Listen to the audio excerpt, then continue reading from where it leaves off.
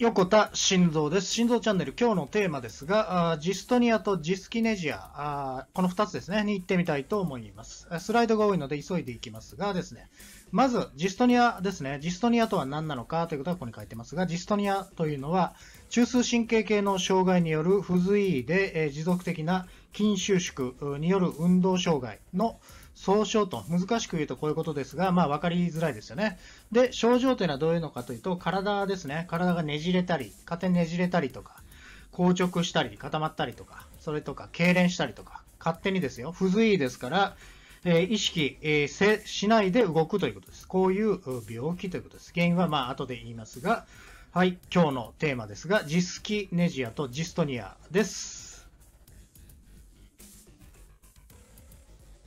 では、ジストニア行きますがですね、ジストニアにもいろんなものがあるということですね。えーまずですね遺伝、性のものがあるわけですね。遺伝性のものというのはもう遺伝性ですか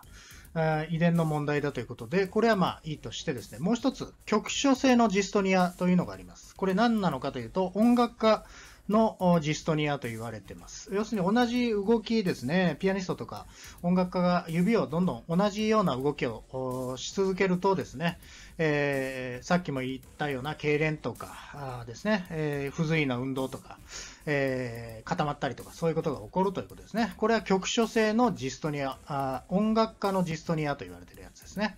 はい、次行ってみましょう。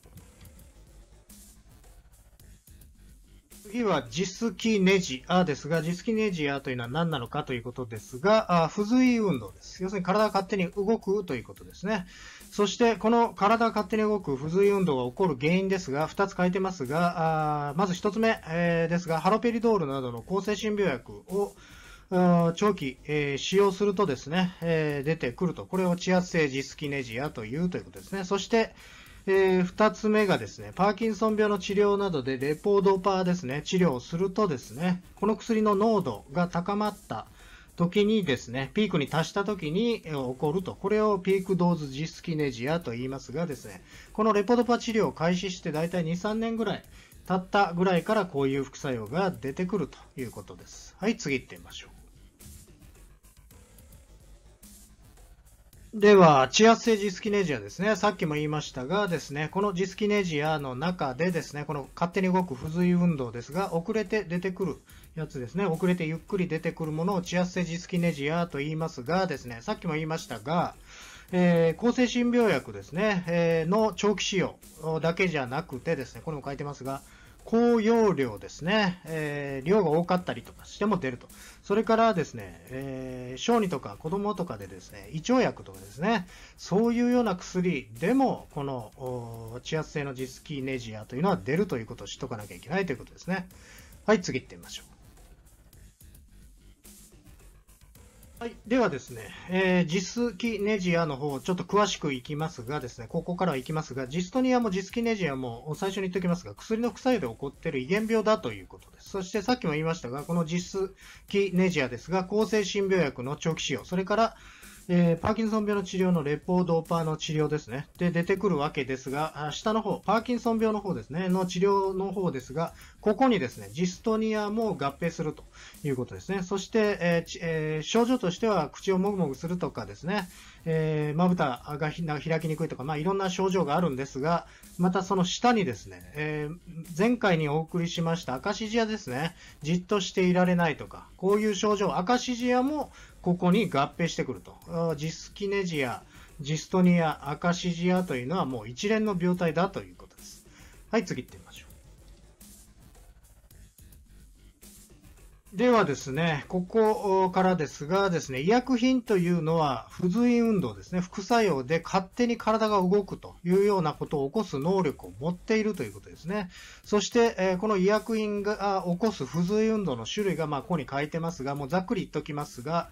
えー勝手に体を動かすわけですが、どういう動きのものがあるかということが、ここにばざっと書いてますが、まず付箋ですね。それからバリズムですね。前回お送りしたアカシジア、それから今お送りしている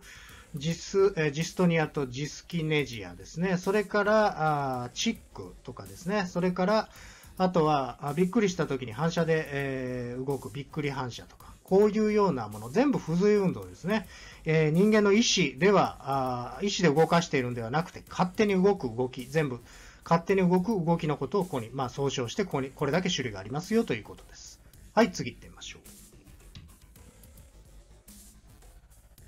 はい。でですね、地圧性のジスキネジアなどはですね、抗生心病薬で起こるということは先ほども言いましたがですね、他の薬でもあるわけですが、生徒剤ですね、吐き気止めとかですね、消化器潰瘍薬とか、消化器肝薬とか言ってますがですね、えー、他に、えー、抗転換薬、抗うつ薬とかもありますがですね、このですね、吐き気止めとか、あまあ、咳止めなんかもありますが、これ皆さん、えー、吐き気止めだと思って飲んでらっしゃると思いますし、咳止めなんかも咳止めだと思って飲んでらっしゃると思いますが、実はこれ麻薬でして、コデインとか咳止めなんかも有名ですが、この生徒剤というのもですね、抗がん剤の吐き気止めなんかが発展したと言ってますが、実際に何なのかというと、麻薬を飲ませてですね、頭パッパラパッパッパーにしてですね、えー、吐き気を感じなくするというようなことをしてるということでね、こういうのは全部抗生新薬と全く同じものと、覚醒剤とか麻薬と全く同じものということです。はい、次行ってみましょう。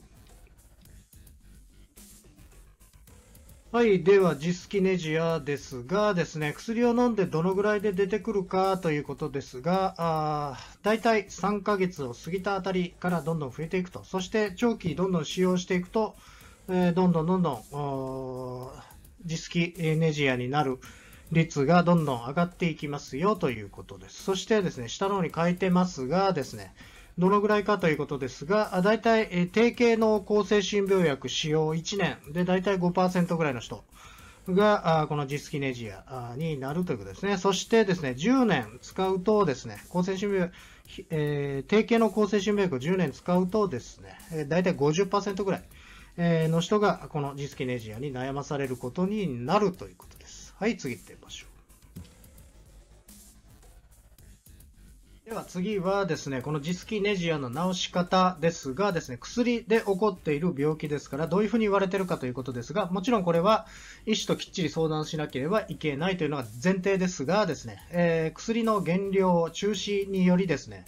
えー、一時的にはこのジスキネジアとか精神症状は悪化するもののですね、長期的に見た場合にこのジスキネジアというのは薬を減量したり中止したりすればあ解放に向かうと。いうことが分かってるということですね。それはそうですよね。薬で起こってるわけですから。えー、薬を使わないようにしてやめていけば、当然、えー、この症状というのは解放に向かうということです。当たり前のことですね。はい、次行ってみましょう。はい。ではですね、ここにですね、医薬添付文書に切り体外路症状、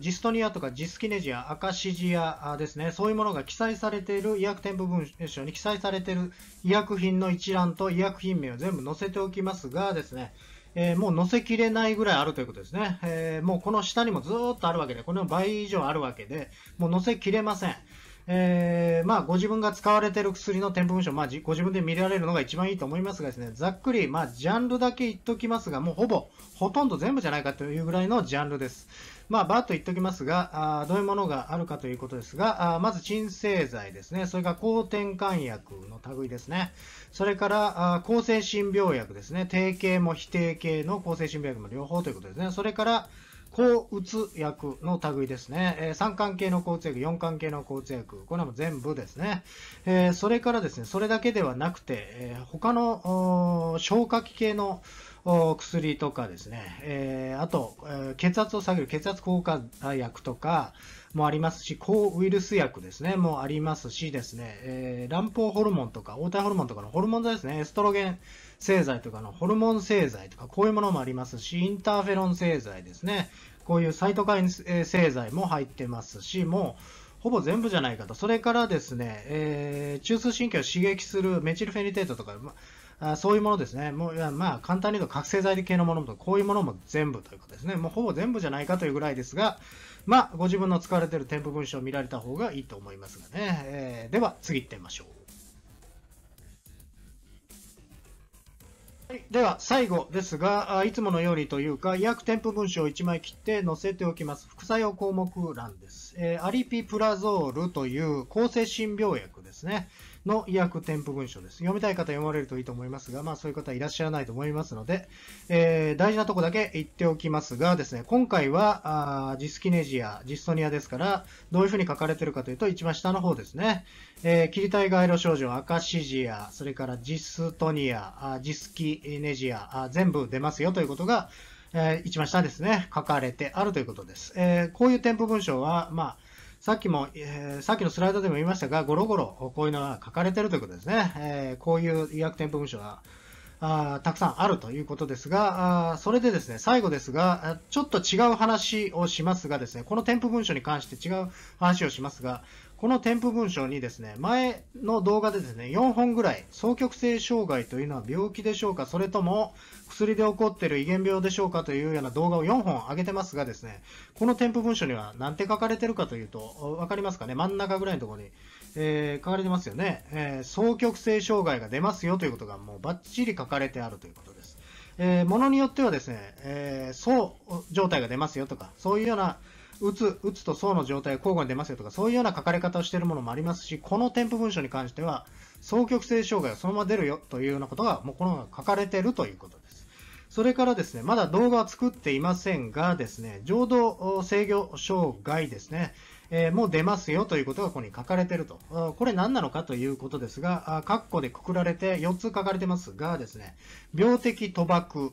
病的性欲更新、それから脅迫性の、まあ、買い物ですね、物を買うと。